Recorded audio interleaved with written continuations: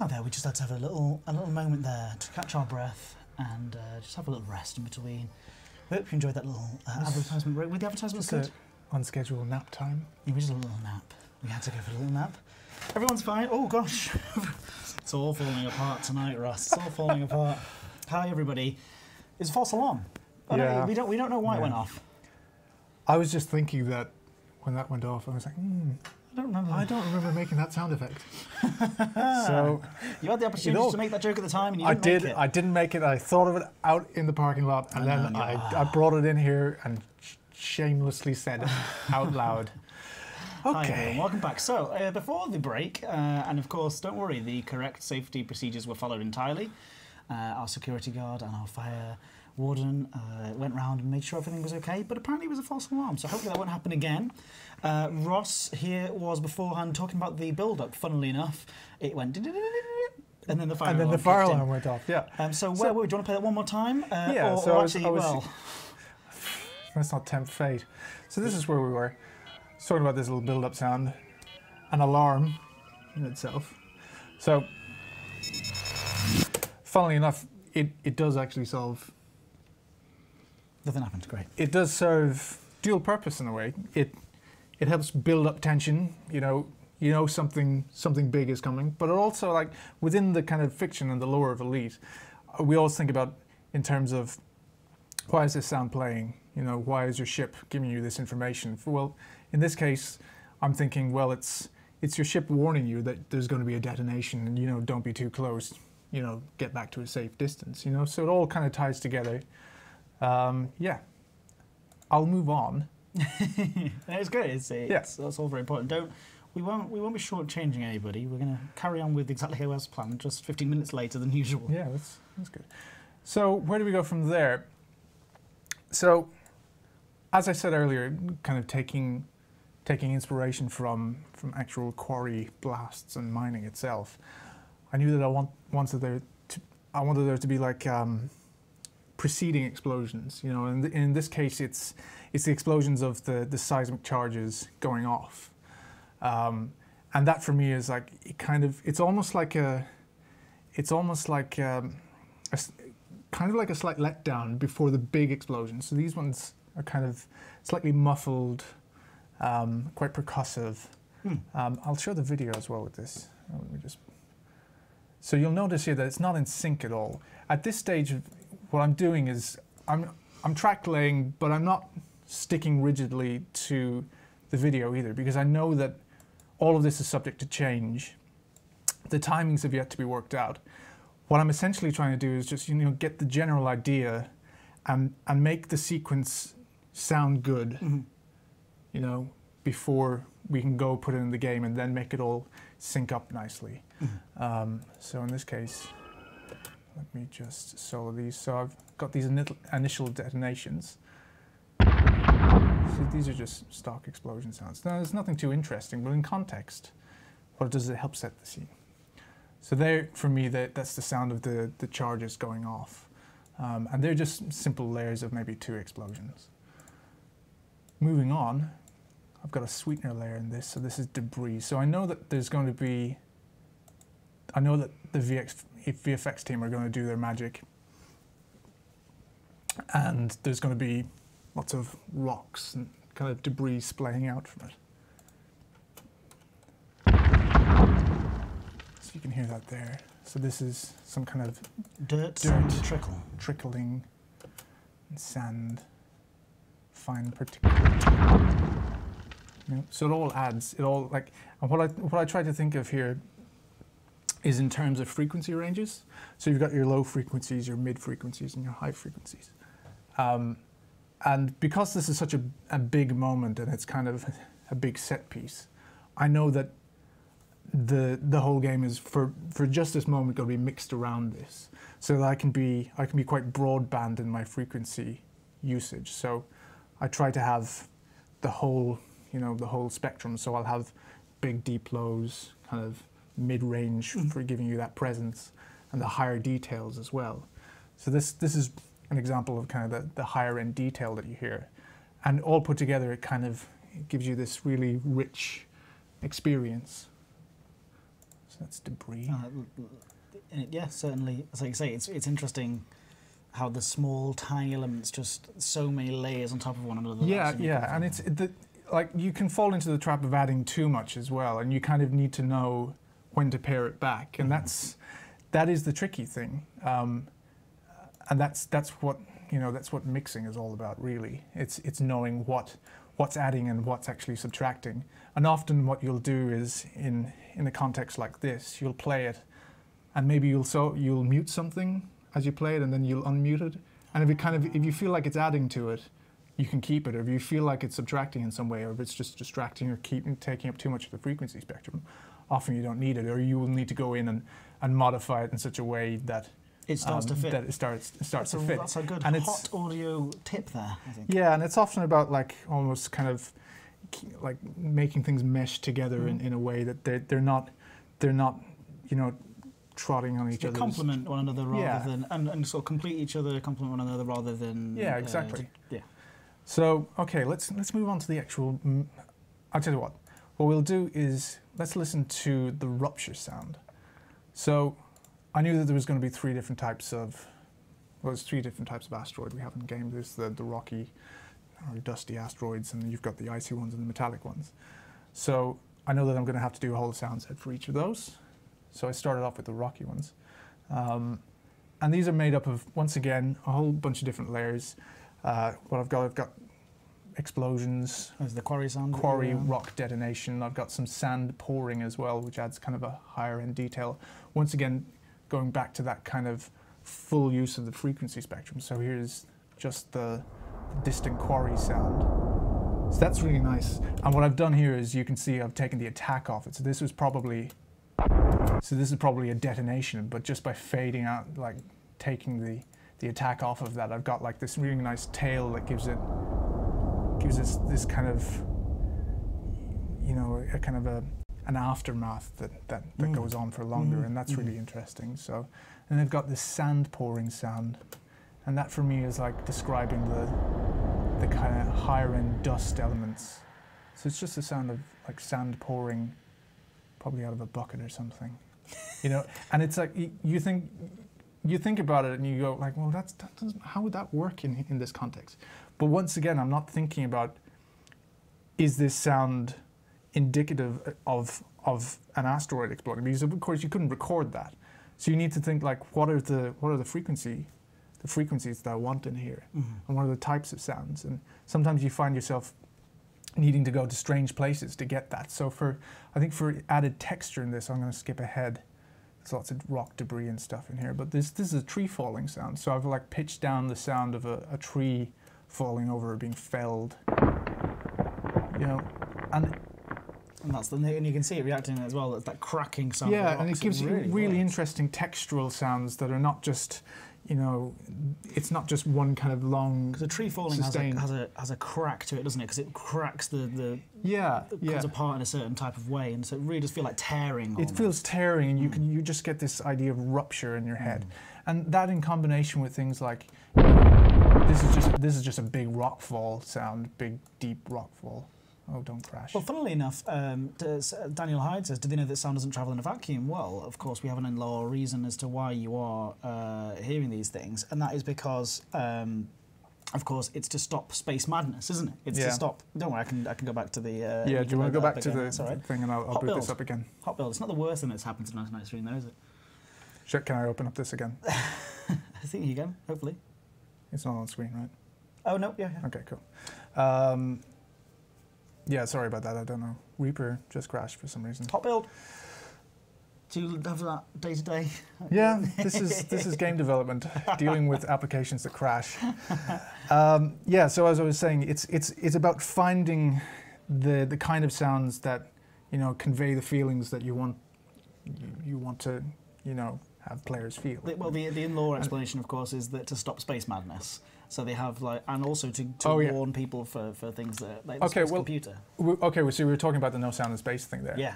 Okay, well, there's an interesting thing with that. So, as part of this kind of exploratory, you know, process, like I thought to myself, wouldn't it be cool if, so within the within the elite lore, you're your ship basically for the purposes of, of safety and being able to kind of position yourself in, in this in this environment. Recreates the sounds that you that are outside the ship as if there was an atmosphere. Okay, so that's that's kind of the rule set that we we have for doing implementing a lot of the sound in the game, um, and you'll see that when when your cockpit blows out, um, when the yeah when basically the the, the canopy blows out, uh, all of the external ships should be muted. You won't hear them, but you'll only hear the sounds from in inside your ship. So you'll hear the, the resonance of the of the weapons, for instance. You know, and you hear your breathing. So that's that's something that we we kind of we use that as our, our checklist. You know, that's, that's that's kind of a rule that we we employ. So sorry, let me just get back to where I was here. That's okay, take your time. Um, one of the things I thought was, okay, wouldn't it be cool if this explosion was so massive that it, it managed, it did something and it, it took out that system for a while, and it was actually, it was actually silent. Mm. You know, the explosion would be silent, and then maybe you would hear it all in one big bang when the shockwave hit you. And I did explore that, and I actually implemented that as a as a kind of a, an idea. Um, and I had this this kind of crazy, kind of glitchy sound that comes in here. Are you ready to show? Yeah, yeah. So, mm, yeah. So I had this kind of idea that maybe it could, could be like this glitch and almost like this tinnitus type sound that comes in, and, And then bam. and then a bam when the shockwave Mm. hits you. Mm. I like I implemented that, and we all we kind of looked at it and went, okay, it was a good idea, but you know maybe it's a bit too indulgent. And the other thing about that is that it actually, for me, it, it detracted from the amazing, like work that the the artists had done, you know, and the VFX team had done in in all of this, all of this kind of Mm. debris scattering and the, the shockwave. And it was like we were like if we if we did that, it would be a bit crazy, but it would it just didn't really mesh with the rest of the game. It would have been us kind of going off out on our own. So we, we need to kind of think sympathetically, you know, and what we're doing is is serving the game and not just going implementing crazy ideas for the, for the sake of it. Even though that was something that we explored, Mm. you know. So it's all part of the the the kind of creative process. Is that um, our head of audio, Jim Croft, is, is very much in favor of daring to fail. It's something that he says all the time. I think that's probably what, what makes us, you know, such a kind of a, a good team. And there's such a, you know, we're we're allowed to try out different things, you know, and often things don't work out, and you just have to accept it and move on. And generally, you'll find that you'll only get better from doing that. Mm. You know, um, yeah. So, moving on. Let's get to Great. let's get to the the kind of main event. So, as a sound designer, one of the things you're always thinking about is like, how do I make this? How do I make this my own? How do I make this unique? How is this going to be like a signature sound? Um, the guy we call the kind of godfather of modern sound design, a guy called Ben Burtt, and he's done most of the Star Wars films, Indiana Jones. He's done Wall-E. He's he is like our god, and he's an amazing guy. And he's he, he kind of pioneered a lot of a lot of methods that we still use today. Um, so his approach is all about like creating, you know, super characterful sounds. You know, something that you can you can identify a sound as oh yeah that's the that's the asteroid explosion sound from Elite Dangerous, Mhm. and that's what we were trying to achieve. And and in cer- I think we've achieved that in other places in this game with like the sound of ships boosting or with the sound of jumping to hyperspace. You know, they're all real signature Discovery moments. scanner. You know, and and they are kind of our benchmarks in many ways. And it's like oh we, we need to have something that gives gives players the same feeling of familiarity as this. So that's something that we try to achieve, and we once again try out a lot of ideas, often fail, and then we settle on something. Sorry. it's okay. You deserve a well-deserved drink. So I was talking about Attack of the Clones earlier, and That's the same guy you were referring to who yeah, did that. yeah, he did this sound, and one of the things I shamelessly did is like I was like, okay, wouldn't it be cool if it sounded like Attack of the Clones? Hmm. You know, let's not get sued, but you know, it was such a cool moment. I know it was going against what exactly everything I've said here, but you know, I was like, okay, can I recreate the sound almost as like an exercise? So I, I start. It was one of my first iterations, and everybody's like, wow, that's amazing. So I had this like this sound going through. exact, exact that. I can imagine Yeah. Joe Hogan being like that. Yeah. So I had this. I'm using Absynth here, and I'm using um, a resonator, and it's just it's such a it's almost like a cheap trick, I think. But it's it's this delay that has a like very high rate of feedback, Mhm. but a very short time, and you get this real kind of prolonged slapback thing, and it's almost like it's like a resonant tube. Get ready for this. Oh, it's pretty cool. It is Right. pretty cool. You know, and we had that in there as a kind of a characterful sound at the start, and we were looking and going, "Yeah, no, okay, we got to, we got to take that out. Let's not get sued." but it was fun nonetheless, you know. And we then I tried different kind of iterations on this, kind of doing, playing around with that idea, seeing if I can, if I can, I can, you know, change this enough to make it unique, you know, kind of these fil- like really kind of sharp filter sweeps and things like that, you know, that give you this sense of almost, you know, just this massive entity just cracking apart, you know, Mhm. and getting that kind of percussive nature in there was something that I, I was kind of struggling with, you know, because it's, um, you need, you need, you need to convey the sound of the, the rocks breaking apart, but also you need that kind of initial crack, you know, because we knew that there was going to be, there's going to be this flash in there, Mhm. and we wanted to sync to that point. So there's a couple of failed attempts here, and you know some of them. That one's pretty cool, but once again, the other thing about it is what came up is that this this direction sounds too much like uh, some kind of a sci-fi energy source thing, and we wanted this to be much more kind of rootsy, just good old-fashioned TNT blowing this thing apart, Mhm. right? And I kind of approached that later on. So the the way I'm thinking of it is like, okay, these seismic charges, you plant them, and you plant them into fissures, and they're injecting like explosive material into Mm. the the fissures, and then they pop, pop, pop, and ignite the the the explosive material that they've they've injected, and then that's when you hear the boom, Mm. and that's you know that's what I settled on in my own mind to explain it to myself, you know, and that's often how you inform your your kind Yeah, of it's about the your direction. Yeah, it's all Mm. about the story. So what we did settle on then was let me just mute those failed attempts. Um, this sound here. so this is. So it doesn't sound as impressive, but it's kind of made up of a couple of different layers. So we're getting back into how what it actually became at this point. Yeah, so this was like what I wanted is because it's difficult to kind of imbue a lot of character in in like a super short percussive sound. I wanted something that kind of stretched out and gave you the sense of like the the the kind of impact that this sound has on its environment. You know, almost like a, this is almost indicative of like a, a jet plane taking off and that kind of phasey nature. I did this using something called a granular synthesizer. So it takes little splices of a sample. I can play them back in various different ways. Uh, and in this case, what I'm doing is I'm playing many versions of the sample. I'm tracking through a sample, so I think it was like a whoosh sound Mm. uh, that I'm kind of tracking through, and it kind of it, it gives you this kind of almost stretched, phasey kind of sound. I think it's it's pretty cool. Mm. This is in addition to a couple of other layers. So there's like an explosion layer here. So that's just more kind of reinforcement. This is an explosion, yeah. Uh, there's big rumbles in there as well. This is like uh, thunder sounds. And I've got kind of a percussion part. So this is, oh no, just another crack, you know, to reinforce that It's, initial it's certainly percussive thing. waking me up, Ross. Yeah, it really is. I, I I drove my colleagues wild with this because, like, if all they heard from my room was just like boom, boom, boom all the time, you know, for about again. two weeks. this this is just a kick drum. That's just a kick drum But sound. it gives that percussive intro. Yeah, it gives you that that crack, Mm. you know, is that moment. yeah. And we send something like that to the sub as well. So if you if you're lucky enough to be listening on 7.1 or or 5.1, you'll get that kind of thud Mm. you know.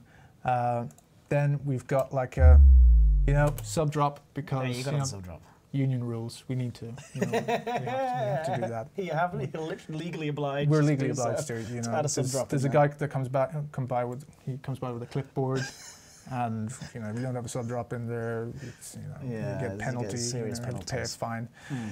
So like that's this is this is my entire sweetener layer for for the explosion. There it is.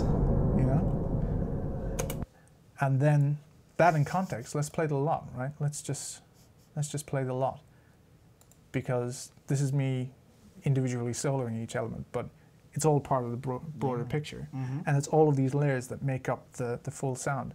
So let me get the video back up again because Okay. that's useful. Let's put it there. Let's do that thing. A- And uh, So f- from the top, let's just go from the top of the this. Detonation in 10 seconds.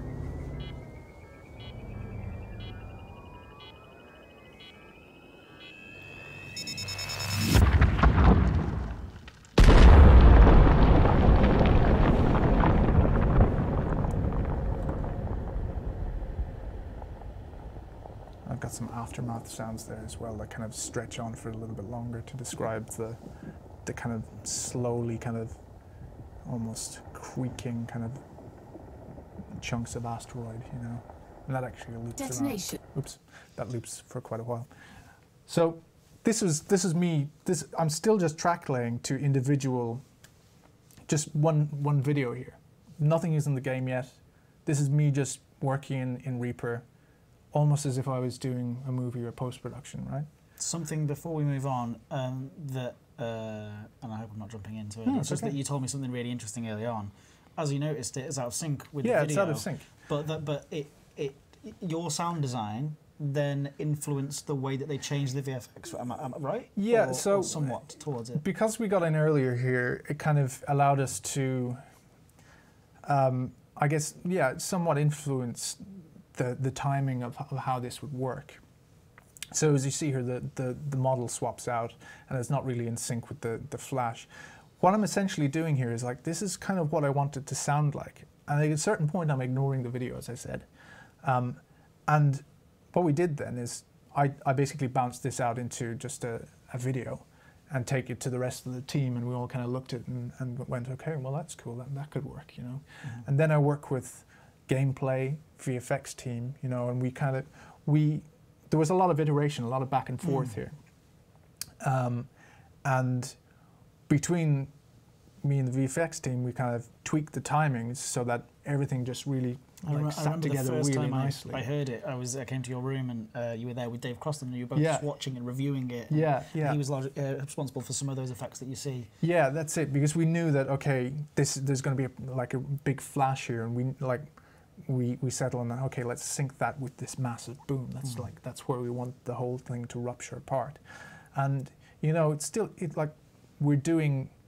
It's it's a game, right? So there's a lot of smoke and mirrors happening here. Um, and we that's the moment the kind of model swap happens as well. I'm sorry Mm. to ruin it for people, but you know that's what that's when it kind of does that. You know, it fractures. It breaks you know? apart. So It's all real. it's all it's all kind of serving the greater purpose you know it, it helps it helps the game you know so yeah that's what we that's what kind of we settled on now it didn't Great. there was there was a lot of mixing after this a lot of kind of rejigging things and just making sure everything is everything is dandy um, sorry let me take another glass of water So while you're doing that, what's the sort of process like in terms of how how long it'll take you? You'll go you'll go with these sounds that you've made up. Have you made the complete sound? Then you take it to uh, Joe, who's your lead in this case, Hmm. or would you Yeah. um, do elements of it and take them to him? Or, or- No, well, it's it's good to to get a first pass in before anybody can look at it because Mhm. sometimes you'll have an idea in your head and you don't want to be like explaining. You don't want to be making excuses for it. Mhm. You kind of want it- it to be in a in a more fully realized state before you get people into critique it because Yeah. often they go. They'll go, oh, but it doesn't have this, and you say, oh no, that's I'm actually, I'm, I'm, Yeah, like I, I'm planning that. I'm going Yeah. to do that. You know, so it's yeah. At a certain stage, when I went for my first in-game implementation, I get people in to review it, and then we start playing around with ideas um, and you know feedback. Our QA team as well, Robin McGovern, is like he's we call him eagle-eared Robin. Oh yeah. You know, he's just he's got such a great an example pair of why. Uh, why He will pick out the most minuscule audio oh really? uh, yeah, glitches and, and irregularities and draw your attention to them and you can go, oh, I didn't even, I didn't know that was a thing. I never heard that. Oh. But he's, yeah, he's such a valuable source of feedback and he's the, he's the guy who will like stress test it and play it. nice. And yeah, we take on board like a lot of feedback from a lot of different people. So, following on from this, as I said, this is just linear. How do we put it in the game? So, what I do is essentially I just export all of these sounds. You'll see all these things, they're, they're called regions. Uh, and I'm basically just splicing up what I've created here and exporting them as individual assets. So all of these little markers here are individual assets that I'm exporting from this session. Um, and with the end goal here of putting these assets into the game.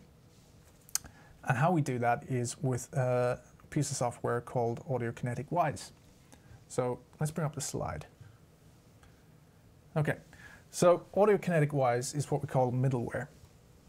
And essentially, it's, it's this piece of software that sits between the game engine and the audio hardware. Okay, and what it does is it allows us to to essentially author the sounds and and and, and allows us real-time mixing functionality, and we can basically manipulate the sounds in the 3D environment. Okay. It's just funny because people in the chat have been saying stuff like, Ed, uh, Ed, you look lost. Are you lost? No, this is the point where I go, huh? okay. Yeah. So this is the kind of bit where you work with the coders, Yeah. So somewhat. so. if I have to explain this now, I'm gonna I'm, I'm gonna Go explain it wrong. But right, yes, yeah, yeah, roughly. I'll, I'll, so our coders work in the code base, of course, right? Yeah, yeah. And what Wwise does is it, it, it basically accept these, accepts these calls from code that we call events, okay? Right. And when an event comes through, the event can be just, say, explosion, right? That gets called from code. Wwise is listening out for a Wwise That event call. called explosion. Hmm. And what Wwise does is say, the explosion event came through, and within Wwise, you point that event, you can point it to a couple of different things, but you point that event to basically a sound asset that's an explosion. Yeah. Now, what's nice about Wwise is that it can handle quite complex behaviors of sound assets. So it's not, it's not always just playing one sound asset. Uh, you can play containers of random sound assets. That's something we, all, we always talk about variation in sounds.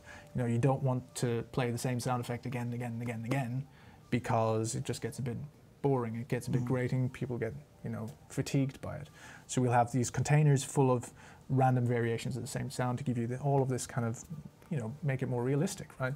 You can sequence them so you can have um, containers that play a sequence of events. You can have uh, containers that blend certain events, and you can have what we call real-time parameter controls, which is essentially we're just taking a, it could be a, a floater, a float, Mhm. essentially, or just a, a Mhm. variable, and we're applying that to a sound so we can affect pitch or we can affect filtering, we can affect you name it. You know, there's a, so much flexibility with us, and it allows us to do so much. So that's the reason we use Wwise because it offers us not only the flexibility but also such a, a streamlined workflow that we can get sounds in the game really quickly Mm. and not have to worry about digging around in code a lot of the time, even though our programmers do so much work with the actual back end system approaches. So I think I pretty much covered that. Great. okay. So we'll go into Wwise and just we'll, we'll just investigate a little bit as to you know how this looks. So this is Wwise. Um, no, true. It's a- It's, it's, it's a it's quite a grey, it is a grey. slightly. It's It's, grey, not really this- an aesthetically p- Has it, got, pleasing. has it, got, it's got no product by means. themes that you can change. In the newer version, yeah, we're Oh, in a slightly older Oh, version I for this, okay. but um, yeah. So essentially, these are the events on the right-hand side, and these are my assets. So thi- Mhm. this is what I've exported from from my my Reaper session. Okay, so you'll see here there's This is the list of aftermath okay. ice. Mhm. There's these are my sweeteners. So there's the ice breaking apart. So they were the the kind of the sound of the rupture itself. This is the that's the signature sound that we have. That's, that's that. Warn us if you're going to do that, all right? Sorry, sorry, sorry. No, I'm joking, it's great. yeah, all right. Don't spill your tea. Okay. Um, there's a here's a this is an LFE, so this is like this is a kick that we send to um, a subwoofer if you have them, have one, and then I've got another transient here, and that I kind of I've, I have that so that I can control the level of crack Mm. in it, you know. So I can, I've got independent volume control over that, And essentially, what I'll do is the great thing about Wwise, my ears, sorry, I'm so sorry. um, the great thing about Wwise is you can connect to the game and do all of this in real time, so you can tweak and mix Mm. as you go. So let's let's do that right now. Okay, so let's. Uh, I've got one instance of the game running here. Okay. Okay. Darkness. Is it because you're, you're still in the dust cloud from before, Okay. I believe? Let, do you want me? I'll do some. I'm going to do some debug stuff. Okay. Is it okay? We show that. Uh, we could just go back to the Yeah, intro cam just in case. okay. Just in case. Thank you everyone for joining us tonight. Uh, I hope it's been uh, enlightening. I found it fascinating. If you have found it fascinating, please do let us know in the chat. And also, I'll, I'll, I'll say this again at the end.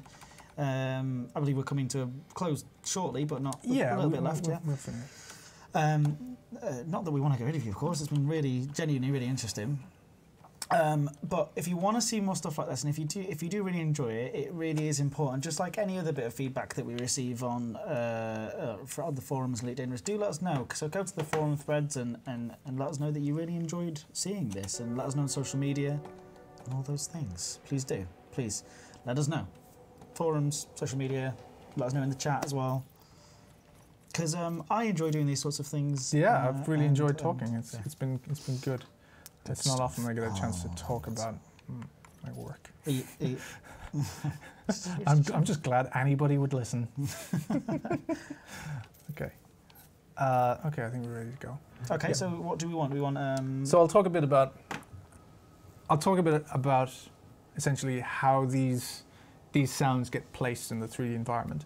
So what we have is we've got these things called emitters, um, and you can think of an emitter just like essentially like a speaker that you place somewhere in the game environment, and you can attach it to an object. You can have it floating randomly in space. Uh, in this case, what I'm going to demonstrate is we attach an emitter to the front of the shockwave.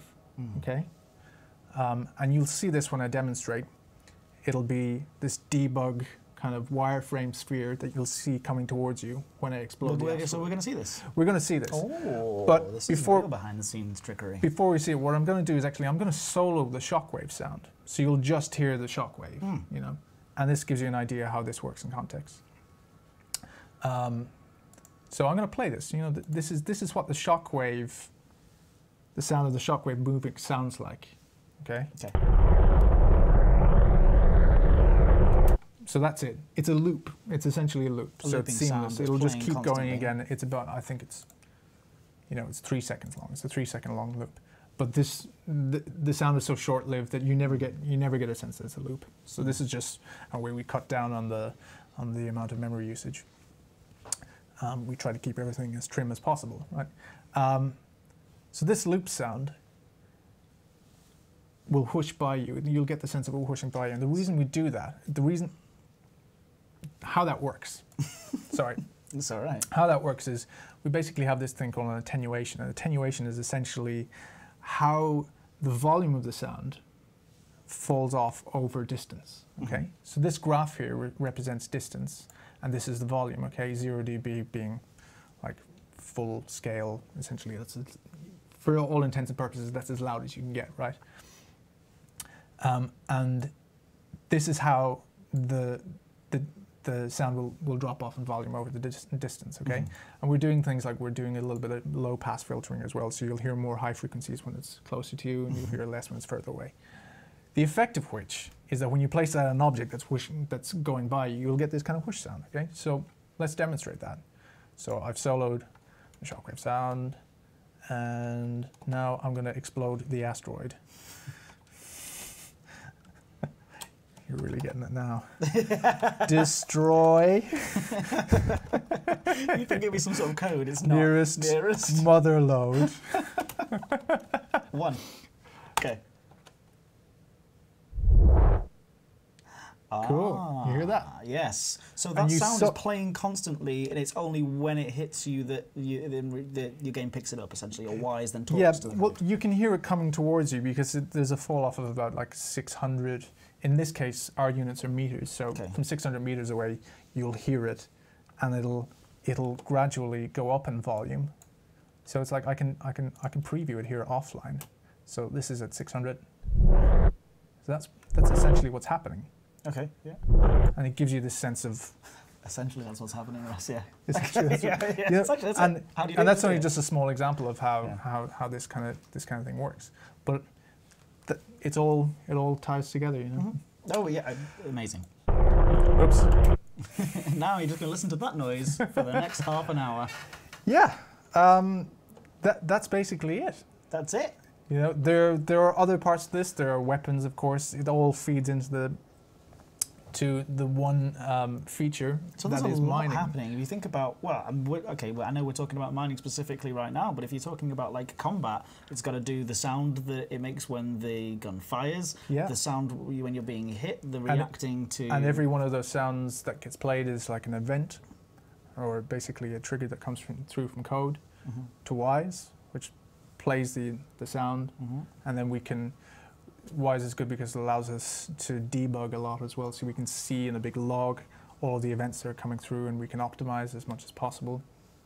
You know, so it's it's a powerful tool, um, and allows us to make great games.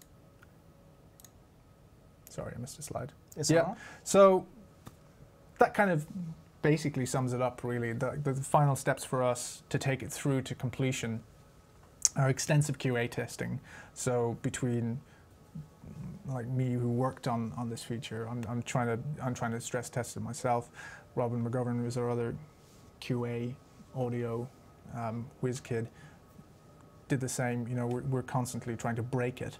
Um, and like there were things that were unforeseen. There was like because this is a we're building on existing features. There were there were issues with the the limpets that had because their behavior is different. So we needed to kind of reassess the way we do things with that. You know, we you just do your best to iron everything out and, and, and try to fix everything. You know. Um, and of course, the, the beta testers as well. You know, who do such a good job, and they'll they'll point out you know little little things here and there. So we, we we're always on the on the forums looking for stuff coming through from them, and then it's just mix tweaks. And you know, at a certain point, you just have to kind of you kind of have to abandon it. You can't go any further. You know, and you just have to say, okay, I'm Like going to stop tweaking. like I'm going to stop tweaking things yeah. now. This is this is it. You And know? of course, going back to that first slide, time constraints as well. Sometimes it's like Yeah, we have course, to. This yeah. now. This is now ready. But I think this is this is one feature that I think I was certainly really happy with how it turned out, and then seeing the reaction from from Well, the players just about to say, has just really made my day. You know, Yeah. it's just it's it's been so good to see Mhm. players get their hands on this, Mhm. and and you know really really enjoy enjoy mining and this experience. Mhm. And I'm really I feel so humbled and and you know just really really good to have been able to play a part in doing that. Well, there you go, and you should let Ross know in the chat as well uh, for the, all of the audio team, everybody. Yeah. As we've covered There's tonight, the, the coders, the programmers, the uh, the audio designers, such as Ross uh, and Joe, and there's, uh, we would list everybody, but it would take too long. Uh, you've got uh, great direction as well from uh, the head J- uh, Jim Croft, Yeah. uh, QA testers. There's just there's a there's a lot that goes into Yeah, a big shout out to Paolo Velasquez and Jordan Petter as well for their amazing work on the on the team as well. So yes, uh, make sure you please do uh, a lovely shout out Yeah, to, uh, and, Thanks, and, put some rounds of applause in there. Yeah, absolutely awesome. Um, Ross, thank you so much for. No, I think we can very take welcome. off a now. Oh, it's very strange you take this off. yeah, Um, uh, it's a but different this is oh, very weird. um, but thank you everybody as well. So uh, this was uh, episode three of uh, Discovery Scanner, which of course is a series that goes in deep into depth all about some of the features, or very specific features uh, about Elite uh, Dangerous, and hopefully sort of teaches you a few things about uh, game design, but also gives you a sort of different perspective on on the work that goes into creating uh, the the game that you guys play so very often. And again, thank you so much for, for carrying on playing and being a part of this journey. If you want to see more stuff like this, again, like I said, please do let us know on social media. Uh, let us know uh, on the forums uh, because we want to hear the kind of stuff that you're enjoying. See if we want to do more like it in future. So Ross, will you come back again at some point, maybe?